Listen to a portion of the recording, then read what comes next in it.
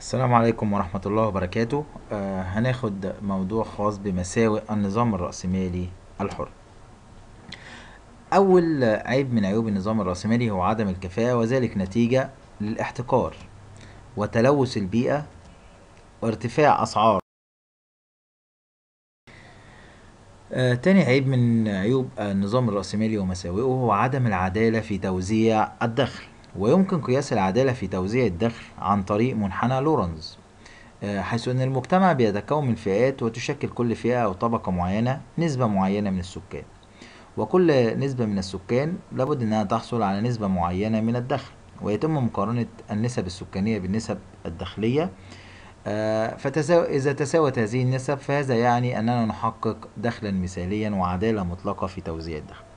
ولتوضيح خط العدالة المطلقة في توزيع الدخل يتم رسم صندوق آه، على محوره الرأسي آه، نضع نسب الدخل القابل للتصرف ليه وعلى المحور الأفقي نضع نسبة السكان. آه، وجميع المحاور متساوية في القياس وبوضع قطر في هذا المربع هو القطر أ ج فهذا القطر يمثل خط العدالة المطلقة الذي تساوي للدخل. أما منحنى لورنز فهو يعبر عن النسبة الفعلية والمئوية من السكان التي تحصل على نسبة الدخل. فهو يعبر عن التوزيع الفعلي للدخل في المجتمع. وكل نقطة على خط العدالة المطلقة تعني أن نسبة السكان تتساوى مع نسبة الدخل التي تحصل عليه بمعنى أن 20% مثلا من السكان يحصلوا على 20% من الدخل.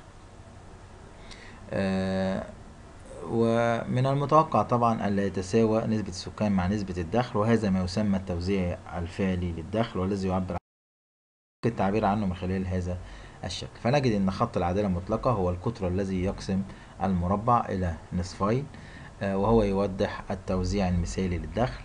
أما منحنى لورنس فهو المنحنى آه، كلما اقترب هذا المنحنى من خط الدخل كلما يعني آه، القرب لتحقيق العدالة في توزيع الدخل في المجتمع. من عيوب أيضا النظام الرأس- الرأسمالي ومساوئه هو أن يوجد بعض المشاكل على مستوى الاقتصاد الكلي. وأهم هذه المشاكل الدورات الاقتصادية وتم شرحها فيما سبق. تاني حاجة حرية الاختيار بتكون للأغنياء فقط دون الفقراء. نمرة ثلاثة ضعف معدل ويوجد بعض الحالات للتدخل الحكومي في السوق وأثرها. ومن أهم هذه الحالات هي تحديد حد أقصى للثمن أو السقف الثاري. قد ترغب الحكومة في تحديد حد أقصى للثمن الذي تباع به السلع خاصة إذا كانت السلع ضرورية أو أساسية وتباع بثمن مرتفع.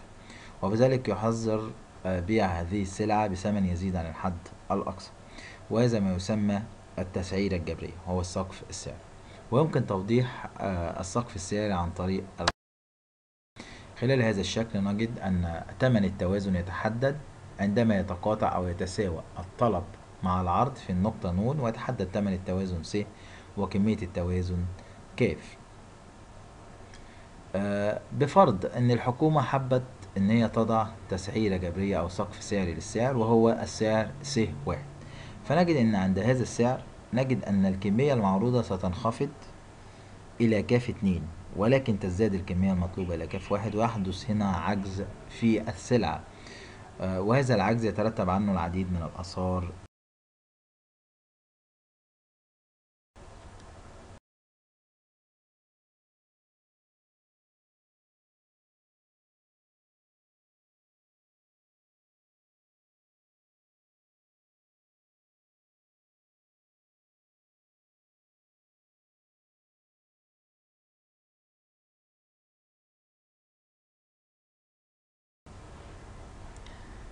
آه، تاني حاجة آه، حيث نجد أيضا أن سعر التوازن في الشكل الذي أمامكم هو آه، يتحدد بتقاطع الطلب والعرض في النقطة ن فيتحدد سعر التوازن س وكمية التوازن ك.